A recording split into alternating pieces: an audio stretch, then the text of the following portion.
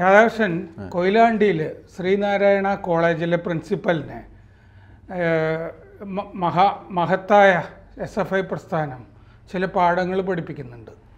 അപ്പോൾ അദ്ദേഹത്തിന്റെ ഇനി എസ് എഫ് ഐക്കെതിരെ കളിച്ചാൽ രണ്ട് കാലും ഉണ്ടാവില്ല എന്ന് ഭീഷണിപ്പെടുത്തിയിട്ടുണ്ട്. മാത്രമല്ല ഈ ഒരു എസ് എഫ് ഐ നേതാവിന്റെ കവിളിൽ ഇദ്ദേഹം തല്ലി എന്ന് എസ് എഫ് ഐ ആരോപിക്കുന്നുണ്ട്. അങ്ങനെ ഒരു സംഭവമേ ഉണ്ടായിട്ടില്ല. സി സി ടി വി ദൃശ്യങ്ങളുണ്ടല്ലോ. ഉണ്ടല്ലോ നിങ്ങൾ പരിശോധിക്കുന്നു അദ്ദേഹം പറഞ്ഞിട്ടുണ്ട്. അദ്ദേഹം പറയുന്നതായിരിക്കും അതിന്റെ അകത്ത് ശരി. എസ് എഫ് ഐ എന്താണ് ഇങ്ങനെ ഒരു കാബാലിക കൂട്ടമായി തീർന്നിരിക്കുന്നത്? അല്ല അത് ഇന്ന് തുടങ്ങിയതല്ല. എസ് എഫ് ഐയുടെ ഈ പ്രവർത്തനത്തിന് വേണ്ടിയുള്ള എല്ലാ പിന്തുണയും ഇന്ന് മുഖ്യമന്ത്രി തന്നെ നിയമസഭയിൽ അവർക്ക് കൊടുത്തു. അതിന് മുഖ്യമന്ത്രി പറഞ്ഞ കാര്യം എന്താണെന്ന് വെച്ചാൽ ഈ ഇവരുടെ കെ എസ് യുക്കാർ മുപ്പത്തിമൂന്ന് എസ് എഫ് ഐക്കാർ ഇതുവരെ കൊന്നിട്ടുണ്ട്. അപ്പം അപ്പോൾ അതുകൊണ്ട് ഇവർക്ക് ഇങ്ങനെയൊക്കെ ചെയ്യാം എന്നാണ് മുഖ്യമന്ത്രി പറഞ്ഞതിന്റെ ന്യായീകരണം. അതായത് ഇതിന് മുൻപുള്ള ഒരു വിദ്യാർത്ഥി പ്രസ്ഥാനം കുറേ പേരെ കൊന്നിട്ടുണ്ട്. അതുകൊണ്ട് ഇപ്പോഴത്തെ വിദ്യാർത്ഥി പ്രസ്ഥാനവും ഇതൊക്കെ തന്നെ ചെയ്യും എന്നാണ് ഈ പറയുന്നത്. അവരിങ്ങനെ ചെയ്യുന്നതിന് പർവതീകരിച്ച് കാണിച്ചുകൊണ്ട് അവരെ അപമാനിക്കരുത് എന്നും മുഖ്യമന്ത്രി പറഞ്ഞു. നിങ്ങളൊന്ന് ആലോചിച്ച് നോക്ക്. ഇനി ഞാനും നിങ്ങളുമൊക്കെ പഠിച്ചതാണ് മഹാരാജാസ് കോളേജ്. മഹാരാജാസ് കോളേജിൽ S F I S F I ഉണ്ട്. A K G C T എന്ന് പറയുന്ന ഒരു വിപ്ലവ പ്രസ്ഥാനമുണ്ട്. ഭാഗ്യത്തിന് ആ വിപ്ലവ പ്രസ്ഥാനം ഈ കൊയിലാണ്ടി കോളേജിൽ ഇല്ല ഇല്ല. എന്ന് പ്രിൻസിപ്പൽ പറഞ്ഞിട്ടുണ്ട്. അതെ. പക്ഷേ ഇവിടെ അതുണ്ട്. അതിൽ ഏറ്റവും രസകരമായൊരു കാര്യം. രണ്ട് കോടി എഴുപത്തെട്ട് ലക്ഷം രൂപ മഹാരാജാസ് കോളേജിന്റെ ഗ്രൗണ്ട് വാടകയ്ക്ക് കൊടുത്തതിൽ പിരിച്ച് കിട്ടാനുള്ള അവർ അടക്കുന്നേയില്ല പിരിച്ച് വിടും. അത് തിരിച്ച് വാങ്ങിക്കുന്നതിന് വേണ്ടി ഒരു നടപടിയും സ്വീകരിക്കുന്നില്ല. ഞാൻ മനസ്സിലാക്കിയെടുത്തോളം ഈ അതായത് പതിനേഴ് ലക്ഷം പതിനെട്ട് ലക്ഷം ഇരുപത്തെട്ട് ലക്ഷമൊക്കെയാണ് ഓരോരുത്തരും കൊടുക്കാനുള്ളത്.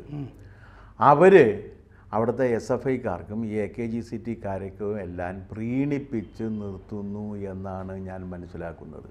ഇത് മാരേജ് കോളേജിലെ കാര്യമാണ്. ആ മാരേജ് കോളേജിൽ സ്ഥിരമായിട്ടൊരു പ്രിൻസിപ്പൽ വരാൻ ഭയക്കാണ്.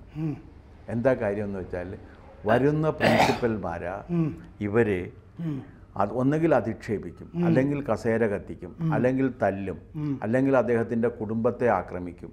ഇങ്ങനെയുള്ള കാര്യങ്ങൾ ചെയ്യുന്ന കാരണം പ്രാണഭയം കൊണ്ട് എ കെ ജി സി ടിയിൽ പെട്ടവർ പോലും വരാൻ മടിക്കുകയാണ് എ കെ ജി സി ടിക്കാർ പ്രാദേശിക മാർക്സിസ്റ്റ് നേതൃത്വത്തിൽ നിന്ന് ആജ്ഞ സ്വീകരിച്ചുകൊണ്ട് അവരെ പ്രീതിപ്പെടുത്തിയിട്ട് അവിടെ ഭരണം നടത്തുകയാണ് ഇതാണ് സംഭവിക്കുന്നത്.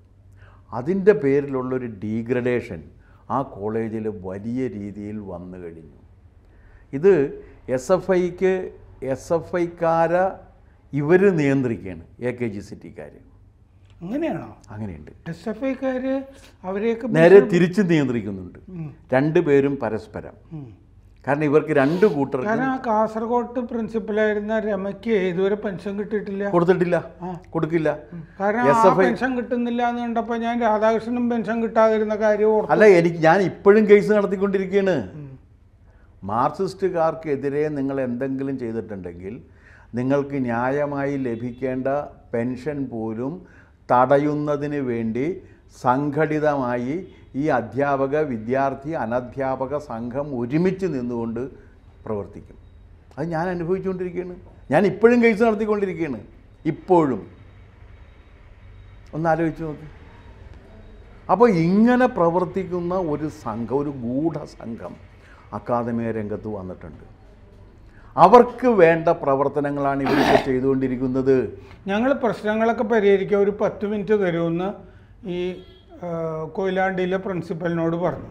പത്ത് മിനിറ്റ് കൊടുത്തു കഴിഞ്ഞപ്പോൾ എന്താ പറ്റിയെന്ന് വെച്ച് കഴിഞ്ഞാൽ പുറത്ത് ഏരിയ കമ്മിറ്റി കമ്മിറ്റിക്കാരെ വിളിച്ചു. പിന്നെ ഏരിയ കമ്മിറ്റിക്കാർ വന്നിട്ടാണ് ഹെൽപ്പ് ഡെസ്ക് ഡെസ്കിൽ പുതിയ പ്രവേശനമൊക്കെ നടക്കുമ്പോൾ ഇരിക്കുന്നത്. ഇനി സാറ് സാറിന് എന്താന്ന് വെച്ചാൽ ചെയ്തോ എന്ന് പറഞ്ഞു അല്ല അങ്ങനെയല്ല. എന്താ കാര്യം എന്ന് വെച്ച് കഴിഞ്ഞാൽ ഒന്ന് ഇതൊരു നാല് വർഷ ഡിഗ്രി കോഴ്സിലേക്ക് ഒരു ട്രാൻസിഷൻ നടന്നുകൊണ്ടിരിക്കുകയാണ് യു ജി സിയുടെ ആഭിമുഖ്യത്തിലുള്ള ന്യൂ എഡ്യൂക്കേഷൻ പോളിസിയുടെ ഭാഗമായിട്ടുള്ളത്. അതിനൊരു ഹെൽപ്പ് ഡെസ്ക് ഇട്ട് പ്രവർത്തിക്കണം എന്നുണ്ടെങ്കിൽ ഈ ഈ പരിപാടി എന്താണെന്ന് അറിയണ്ടേ? ഈ പദ്ധതി എന്താണെന്ന് അറിയണ്ടേ? ന്യൂ എഡ്യൂക്കേഷൻ കോളേജുകാർ ഹെൽപ്പ് ഡെസ്ക് ഒന്നും വിടാൻ ഇവരോട് പറഞ്ഞിരുന്നില്ല. ഇല്ല കോളേജുകാർക്ക് അറിയാലോ എന്ത് ചെയ്യണോ എന്നുള്ള കാര്യം? രക്ഷിതാക്കൾക്ക് അറിയാലോ? ഇവരതല്ല. ഇവർ കുട്ടികളെ ഇതിനകത്തേക്ക് വരുത്തുന്നതിന് വേണ്ടിയാണ്. കഴിഞ്ഞ പ്രാവശ്യം നമ്മൾ ചർച്ച ചെയ്ത സമയത്ത് ഞാൻ സൂചിപ്പിച്ചൊരു കാര്യമുണ്ട്.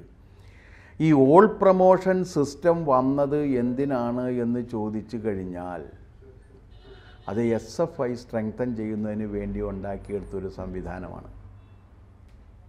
എന്താ കാര്യമെന്ന് വെച്ചാൽ ഒന്നാം ക്ലാസ്സിൽ ചേരുന്ന ഒരാൾ പ്ലസ് ടു വരെ പ്രമോഷൻ കിട്ടി പ്രമോഷൻ കിട്ടി പ്രമോഷൻ കിട്ടി പോവുകയാണ് തോറ്റു കഴിഞ്ഞാലല്ലേ വീട്ടിൽ അന്വേഷിക്കുള്ളൂ? അതെ അങ്ങനെ പ്രൊമോഷൻ കിട്ടി കിട്ടി പോകുമ്പോൾ എസ് എഫ് ഐയുടെ അംഗബലം ആ കൂടിക്കൊണ്ടിരിക്കണം കൂടിക്കൊണ്ടിരിക്കും. അല്ലെന്ന് ഇപ്പോൾ ഒരു ഒരു വിദ്യാർത്ഥി പോയി പഠിച്ചു.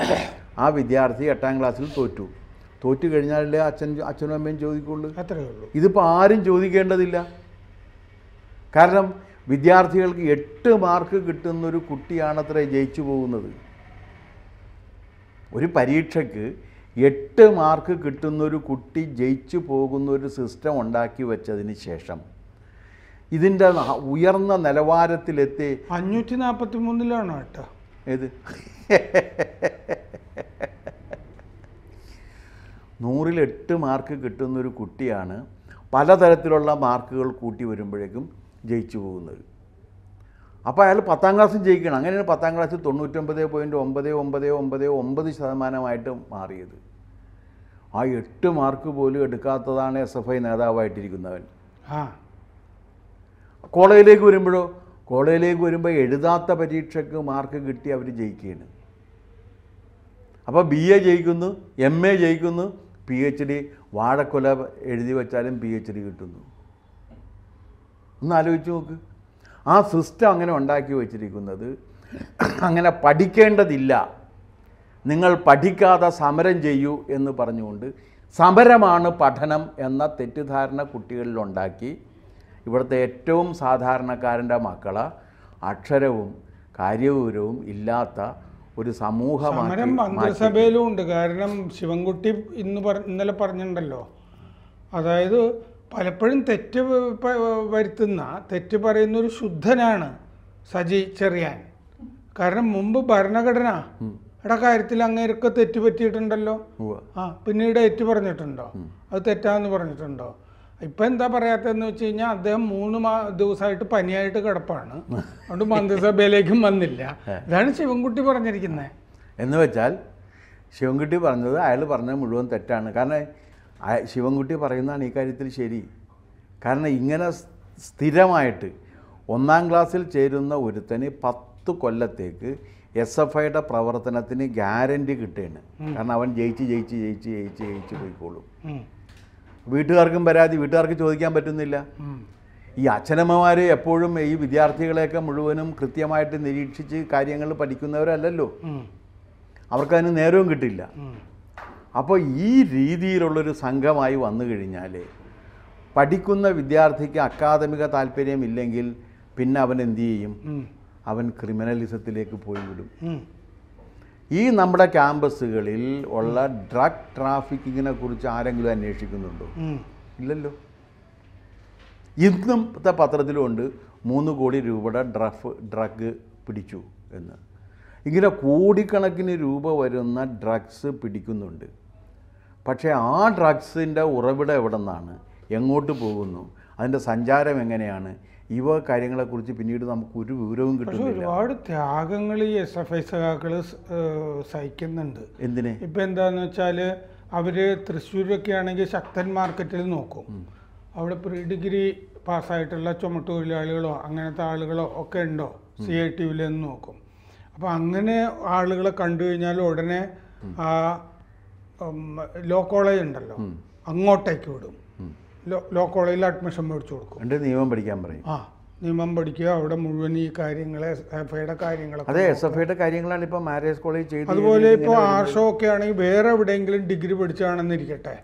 അത് കഴിഞ്ഞിട്ട് വേറെ മഹാരാജസ് കോളേജിൽ പോയിട്ട് ഇനി വേറെ ഡിഗ്രി പഠിക്കുക. അല്ല ആർഷോ ഇതെല്ലാം ചെയ്തുകൊണ്ടിരിക്കുന്നത് മഹത്തായ വിപ്ലവ പ്രസ്ഥാനം കരുപിടിപ്പിക്കുന്നതിന് വേണ്ടിയാണെന്നാണ് പറയുന്നത്. ആ അദ്ദേഹം വേറെ എന്തോ പഠിച്ച ശേഷം പിന്നെ ആന്ത്രോപോളജി നന്നാക്കാനോ മറ്റാണ് കോളേജിലേക്ക് വന്നത്. അല്ല ആന്ത്രോപോളജി അദ്ദേഹം പഠിച്ചിട്ടുണ്ടോ എന്ന് വെച്ചാൽ അതും പഠിച്ചിട്ടില്ല. ക്ലാസ്സിൽ കയറിയിട്ടുമില്ല പഠിച്ചിട്ടില്ല അപ്പോൾ പറയണ ആർഷോയെ പോലുള്ളൊരു പ്രതിഭാശാലിക്ക് ക്ലാസ്സിൽ കയറേണ്ട കാര്യമില്ല എന്നാണ് പറയണത്. പക്ഷേ പഠിക്കേണ്ടിയിരുന്നു.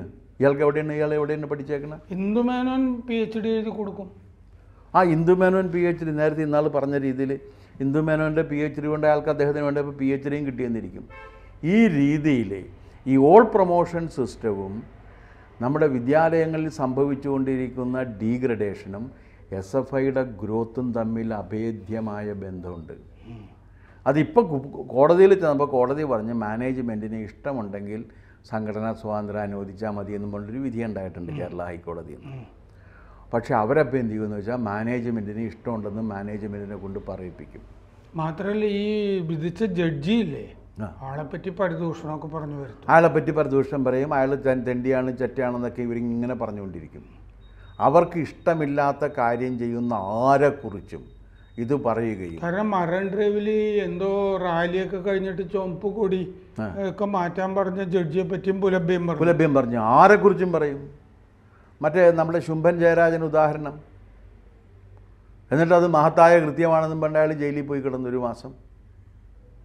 സ്വാതന്ത്ര്യ സമരത്തിന് കഴിഞ്ഞ ദിവസം പഴയ സഭ നേതാവ് പറഞ്ഞു ഗവർണർക്ക് പ്രാന്താന്ന് പറഞ്ഞു. ആ. എന്ത് ധിക്കാരവും എന്ത് വൃത്തികേടും യാതൊരു മയവുമില്ലാതെ പറയുകയും നമ്മുടെ പൊതുസമൂഹത്തെ മവ്യം മലിനീകരിക്കുകയും ചെയ്യുന്ന ദൗത്യമാണ് എസ് എഫ് ഐ ഏറ്റെടുത്തിരിക്കുന്നത്. മർദ്ദകരല്ലേ?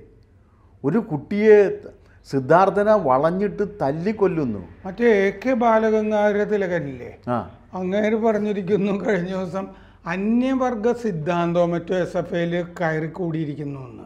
എസ് എഫ് ഐ ശരിക്കും ഇങ്ങനെയൊന്നും ഉദ്ദേശിച്ചിട്ടുള്ളതല്ല. അങ്ങനെ ഒരു അത് ബാലനാണ് പറഞ്ഞതെന്നുണ്ടെങ്കിലേ അതിലെന്തെങ്കിലും തത്വം ഉണ്ടായിരിക്കും. അത് കുറേ കഴിഞ്ഞ് ബാലനും നമുക്കുമൊക്കെ മനസ്സിലാകുള്ളൂ എന്നൊരു പ്രശ്നം മാത്രമേ ഉള്ളൂ. പക്ഷേ ബാലനത് ആദ്യം കണ്ടെത്തും. മനസ്സിലാകില്ല പക്ഷെ കണ്ടെത്തി കഴിഞ്ഞാൽ ഒരു വിസിൽ ബ്ലോവറുടെ പണിയാണ് ബാലൻ ചെയ്തുകൊണ്ടിരിക്കുന്നത്.